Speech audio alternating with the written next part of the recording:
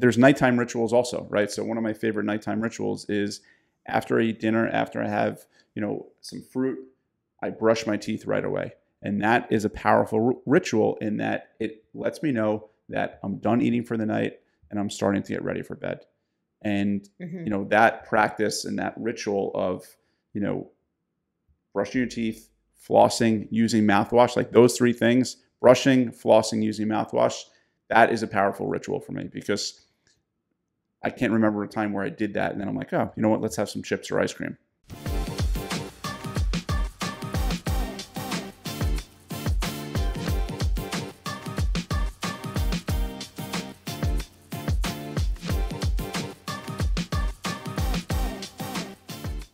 Hello, Adam. You're looking well as ever. How are things on your end? Everything is well, thank you. I'm uh, I'm excited Good. about my new uh, my, my new microphone here.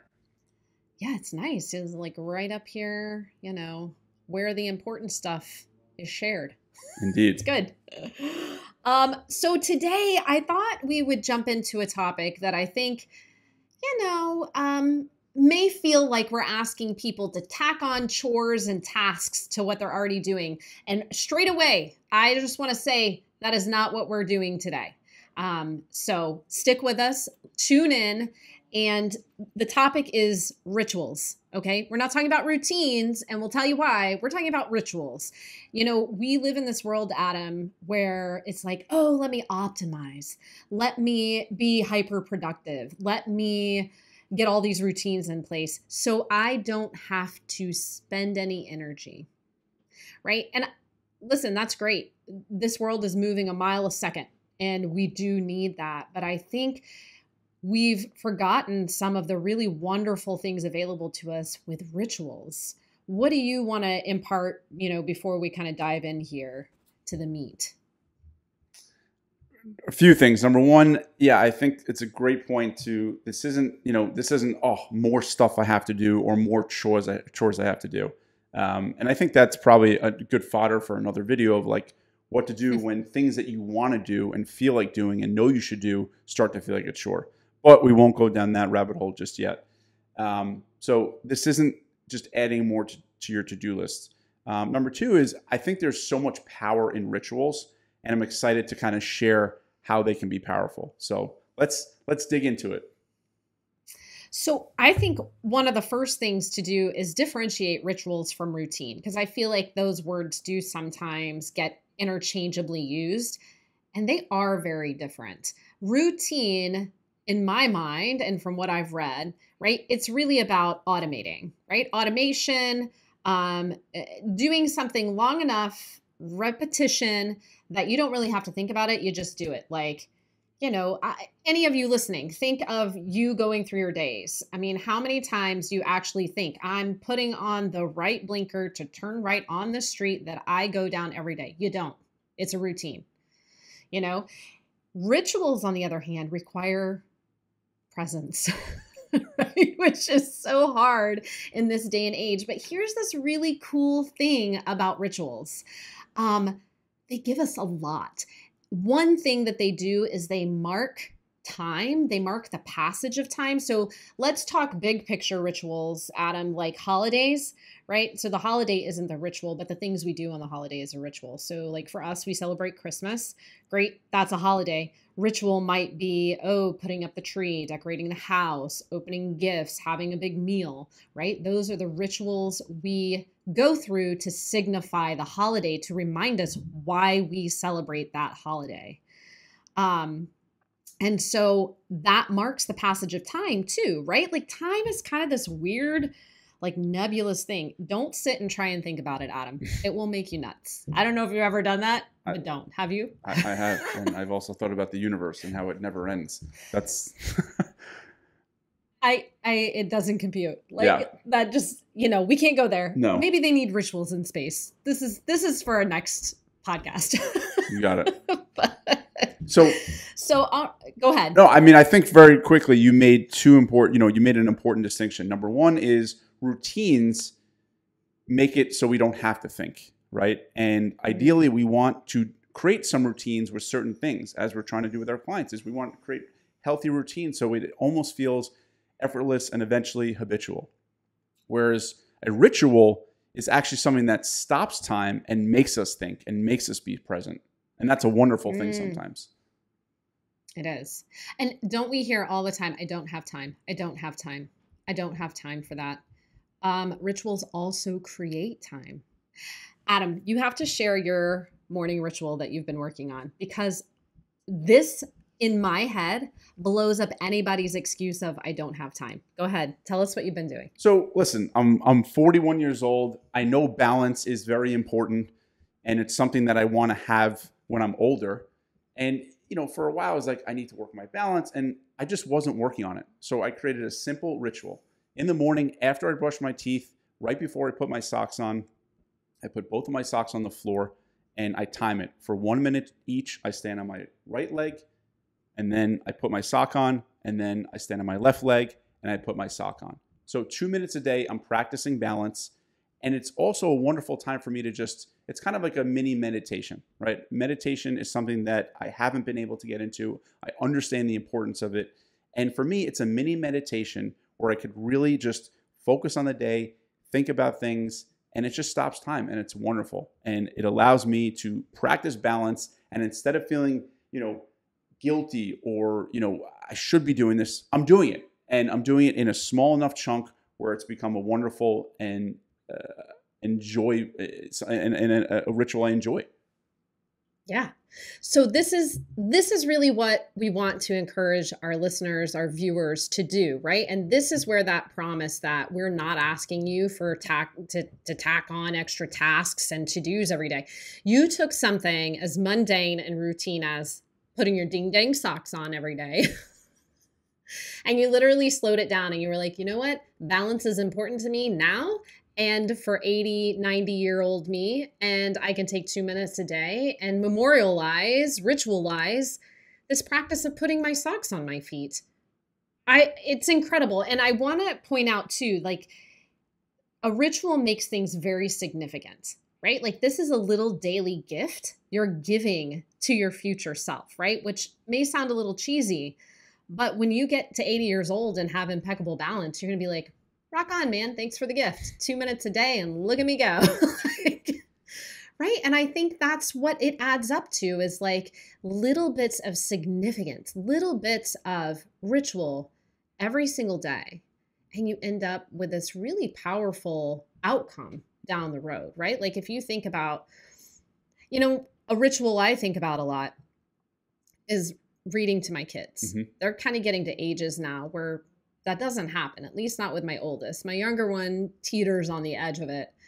Um, and I look back at how many nights we have read books to them. So here's something really cool to think about with a ritual. And this you even talked about when you were sharing about your sock ritual earlier. It's also a transition, right? So think about the ritual of reading your kids a bedtime story. What does it do? Well, it signifies the transition period in a day where it's time to wind down and it's time to prepare for sleep. It eases them into it, it calms them down, right? It's connection. And so, even though it's like a 10 or a 15 minute ritual a night, it's really powerful. And then you have years and years of this built into your memory. Totally And I think we we miss opportunities to do this for ourselves on a daily basis. Totally. And I- I, think to your point though of rituals, rituals, one of the reasons why I think they're so powerful is they signify the beginning of something, to your point. Mm. And athletes are very big on rituals, right? And this is why you can be talking with an athlete, you know, an hour before a game and they're all fun and they're loosey goosey and they seem like they don't have a care in the world. And then you see them 10 minutes later and they are so locked in and they are ready to go. And for most of these athletes, it it's their ritual, right? They start their pre-game pre-game ritual, and it could start with a meal. It could start with listening to a song, a type of music. It could start with doing a certain type of exercise. Whatever it is, it it allows them to get into that alter ego state and perform at their best, right? For me, I use rituals with work. So if I have a bunch of work to do, what I'll do is I'll put on some instrumental music.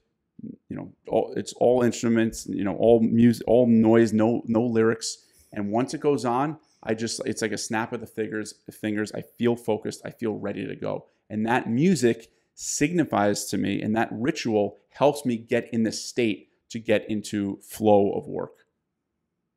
Right. By bringing that presence, right? It's not just turning on music and checking out. It's turning on music and checking in. Yes. You draw your focus into the next period of time that you are looking into, that you're moving into. Right. Some things, I, you know, I want to talk about and give some ideas for people who might be looking for rituals that they could make in their day. Guys, you're already out there doing routines. To be clear, there is time. I tell my clients this, Adam, all the time. I'm like, what are you talking about? There is time. There is time. If we say so, there is time. And there is time to ritualize anything you're doing. I'm going to give you a great example. For those of you who still work out of the house, I realize that may be a fewer number than years ago. Um, you can still do this even if you work from home. But there is a point in time where you're, say, driving home and you pull in the driveway. If you're a parent, you know you're walking into chaos with kids or whatever your spouse whatever. Or if you're if you're just part of a couple or even single right? Like you're transitioning into the next part of your day. So instead of just pulling in the driveway getting out of your car and walking in the door take 5 minutes take 2 minutes and sit and transition ritualize the moment you turn the car off, right? To help you transition into the next part of your day. What do you think about that, Adam? I love that.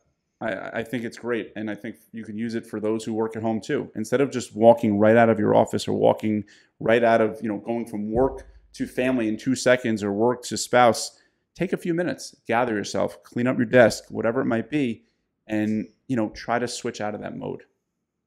Yeah. And it really does, you know, you say clean up your desk. It really needs to be an action, not just like I'll play a few games on my phone and then go in.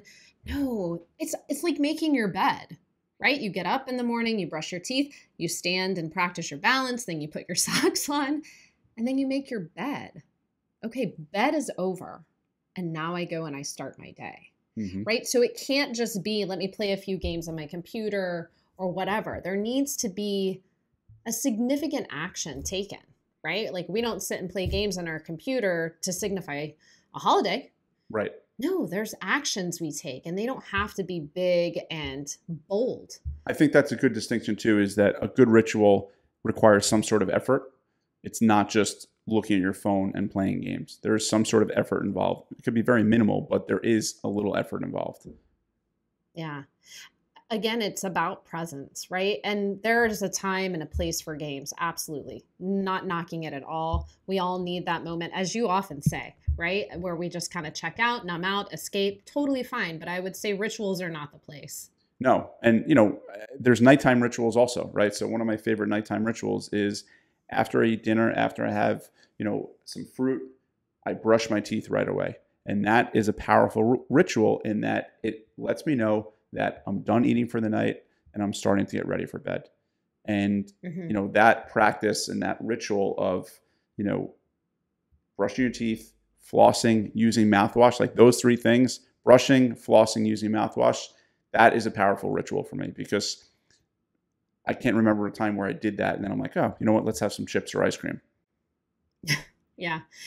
It is. And, you know, we're on the subject of food, and this is more related to a lot of the work we do with our clients. Another ritual that might come ahead of a meal that I think, you know, not not for all but for many of us has been lost over the years and and perhaps in the generations and decades um this idea of sanctuary before we eat right it might look like prayer around the table at dinner um or whatever right but I encourage clients, I'm like, when you sit, sit down, sit down to a meal. Right. And take a moment. Right. Breathe. Right. Come to the table. And yes, if you're into prayer, pray a moment or just throw up a gratitude for something, for the meal, for being able to afford the meal, or sit at a table to eat your meal but take a moment, ritualize that moment just before you eat. Because we work with a lot of people and we're like, hey, we got to slow down. We got to start paying attention to what our body is saying, not only before we eat, but while we eat and toward the end of that meal. So, having a ritual just before you start your meal can help you stay present and focused during that meal. Totally. And you know, one of the best ways to build a habit is to piggyback it on something that you're already doing, right? And something that we're all doing every day is eating. So you're using the eating as a trigger in a way to be grateful or to say a prayer, whatever you want to do, but you're doing something, you're doing that every day, right? For mm-hmm. some, it could be coffee, it could be whatever it might be. But if you want to build a habit, the easiest way to do it is piggyback it off something you're already doing. On the flip side, you can use that as, or not on the flip, you can use that as a trigger to install a, a potential ritual. Mm-hmm. Absolutely. Well, your sock example is a perfect a perfect one for that, right? You piggybacked putting your socks on, and now I'm ritualizing practicing my stability work, right? And meditation. And meditation. It's a two for one. Anybody else out there have any two for ones, three for ones? I don't know. What do you get? and then you know another thing for me is exercise. Like you know there are times where I don't feel like it you know i'm just not in the mood uh, and you know i try to think in the future how will i feel when i get this done not how i feel in the moment. And for me it's you know putting my sneakers on. I like to chew gum while i work out. It gets me going and i listen to some music. And like those three things often will just it just it gets me closer to that state. Of course the next state is to actually move a little bit and allow your body to move. And once you do, you start to build a little momentum. But the actions of sneakers on, chewing gum, music, like those three things will definitely get me out of, you know, my comfortable state or whatever it is, like that ritual. It's kind of like, you know, That's... so we have a pre-workout ritual, we have a nighttime ritual, there's pre there's pre-work rituals, right? There's, you know, all sorts of rituals you can install that can be very, very helpful to get you in the mode to do what you really want to do. Yeah, they require presence. And I think that's the biggest thing that we need to understand and apply if we're looking for ways to ritualize some of the things that we do more routinely on a daily basis. It really does require more presence. But guys, it doesn't require more time. You're already spending the time. And actually, it will give you a sense that time slows down. I call this time bending, right? Like when you are able to embrace presence in a moment of time, it feels like you're bending time, you're creating time. So I, I would just love to hear from anybody listening um, ways in which they might infuse more ritual into their routine. I love that. I feel like time, you know, especially, I don't know, once I had kids, I mean, my oldest is 10. I feel like time is just flying, right? And you know, one of the things they say that could help slow down time is, you know, and not that this is realistic, but moving, right? Because to your earlier point, typically when we drive in lo- locally, we're not paying attention anymore. We know this stop sign, we know this red light, and suddenly we're like, wait, how did I just get here? And you got there because you're just not paying attention. And I think the idea of slowing down time is certainly appealing. And creating rituals is a very effective way to do that because it does it brings you back to center it brings you back to being present whereas so much of our day is just go go go go i got to get to the next thing this slows you down. So to me that that is the ultimate of just how do we slow down time a little bit and just appreciate where we are and enjoy where we are um, and you know rituals are the easiest and most effective way to do that. Absolutely. All right guys. Well that's all we have for today Pretty simple stuff, but pretty deep, pretty powerful. And as I said earlier, we'd love to hear from you. What routines do you have in place now that you might be able to tack on a little ritualization and get some deeper meaning and some time bending out of? As always, Adam loves to hear from you guys. Shoot us an email, leave us comments down below on our YouTube page, and we'll look forward to seeing you next time. Take good care.